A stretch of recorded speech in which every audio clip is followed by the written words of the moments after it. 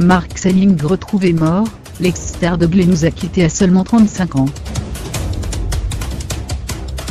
Le comédien Mark Salling attendait son procès pour possession d'images pédopornographiques. La thèse du suicide est pour le moment privilégiée. Mark Salling a marqué les esprits avec son rôle de Noah Pucarman dans la série Glee. De 2009 à 2015, l'acteur a connu le succès, et semblait prêt à conquérir Hollywood.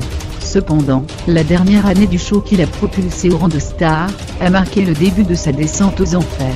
Si en 2013, son ex Roxane Gorzola l'avait accusé de l'avoir forcé à avoir des rapports sexuels non protégés, l'acteur n'en avait pas terminé avec la justice. Après avoir été dénoncé par une autre ex-petite amie, Mark Saying a été surpris par la venue de la police à son domicile. Des milliers d'images pédopornographiques ont été retrouvées sur son ordinateur ainsi que sur une clé USB. Le jeune homme avait fini par plaider coupable dans l'espoir d'une peine réduite, mais plusieurs années de prison attendaient ce dernier. Il encourait jusqu'à 7 ans de prison avec 20 ans de liberté surveillée.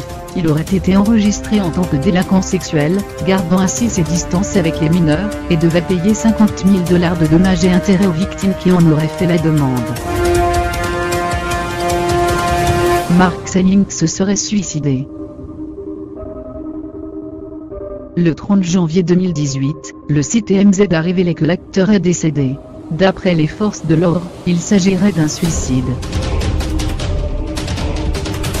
On nous a dit que le corps a été trouvé près de la rivière de Saint-Lan, le quartier dans lequel il vivait.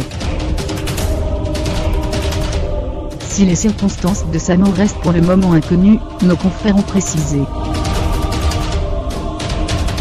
Il serait possiblement mort après s'être pendu.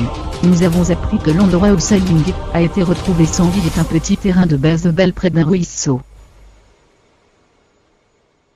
Toujours d'après TMZ, le 22 août dernier, Mark Salling aurait déjà tenté de mettre fin à ses jours à Los Angeles. Il se serait entaillé les veines du poignet dans sa chambre. Son colocataire aurait réussi à le sauver en contactant les urgences avant qu'il ne soit trop tard.